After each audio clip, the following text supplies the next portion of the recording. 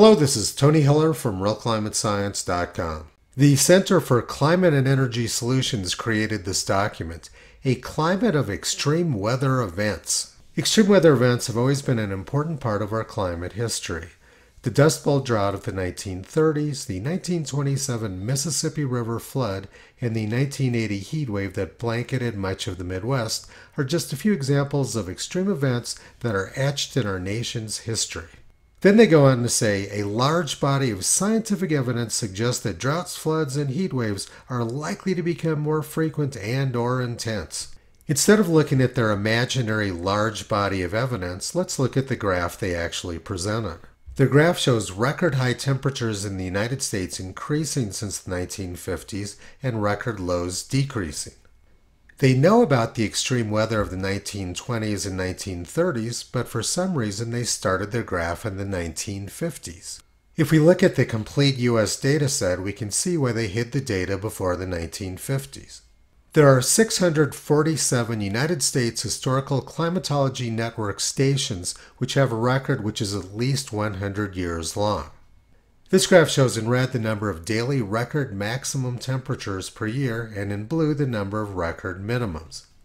You can see that extreme temperatures were much more common prior to 60 years ago. Had the Center for Energy and Climate Solutions presented their complete data set, it would have ruined their entire proposition.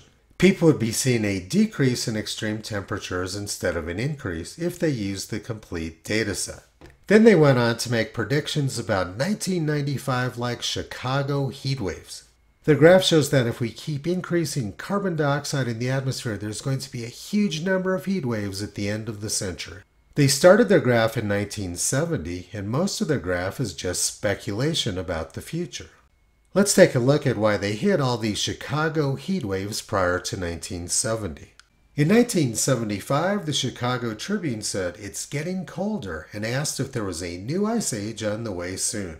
In the last decade, the Arctic ice and snowcap has expanded 12%, and for the first time in this century, ships making for Iceland ports have been impeded by drifting ice. Many climatologists see these signs as evidence that a significant shift in climate is taking place, a shift that could be the forerunner of an ice age like that which gripped much of the northern hemisphere before retreating 10,000 years ago.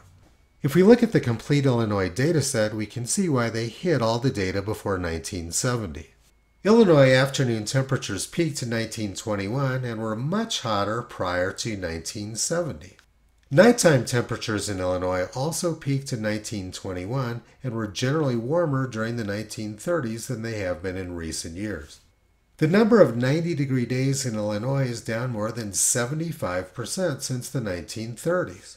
This graph plots the number of 90 degree days in Illinois versus atmospheric carbon dioxide. As atmospheric carbon dioxide has increased, the frequency of 90 degree days has plummeted in Illinois. The Center for Climate and Energy Solutions graph is both cherry picked and misrepresents the actual trend. The hottest day in Chicago was July 24, 1934, when they reached an incredible 109 degrees. During July 1936, Detroit averaged one heat death every 10 minutes over a period of six days.